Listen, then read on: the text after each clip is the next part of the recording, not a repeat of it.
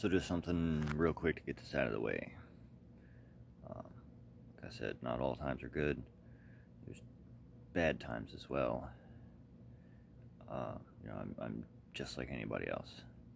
I've had substance abuse problems, alcohol addiction problems, uh, anger and behavioral issues, um, complex family dramas, problems, mistakes I've made, things I'm still trying to work on.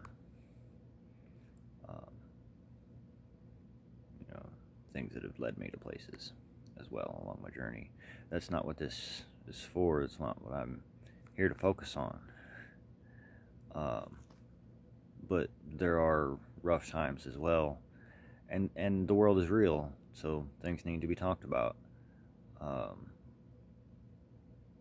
so I'll keep off of my background, my dark background in general, and and stick more to just kind of general uh, downsides and the harsh side of living this way and and doing the things that I do. Um, I started out because of crime and alcohol, uh, living on the streets. You know, it was a thing of necessity.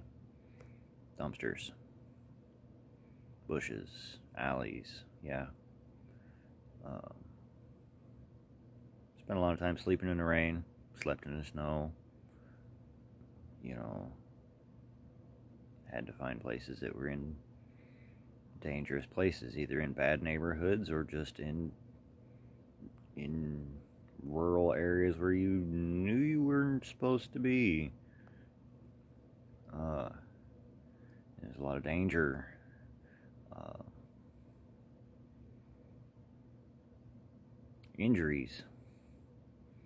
Yeah, walked off a cliff from not paying attention where I was going a few years back. Shattered my legs. You know, had to learn how to walk again. Wheelchair, the works. You know, um,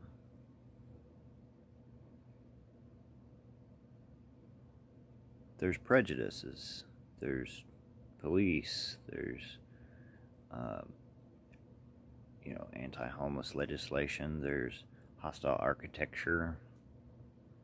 Um, you know, there, there's a lot of troubles and trials. Uh, but there's good, there's good still, even in all of that, and not just a you have to have the dark to make light. There's there's real value there too.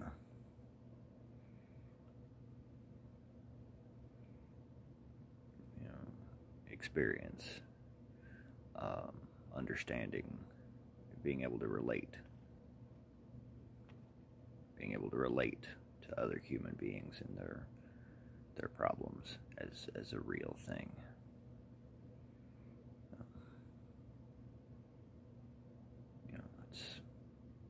It's not a mistake, it's just a happy little bush. Thanks for listening.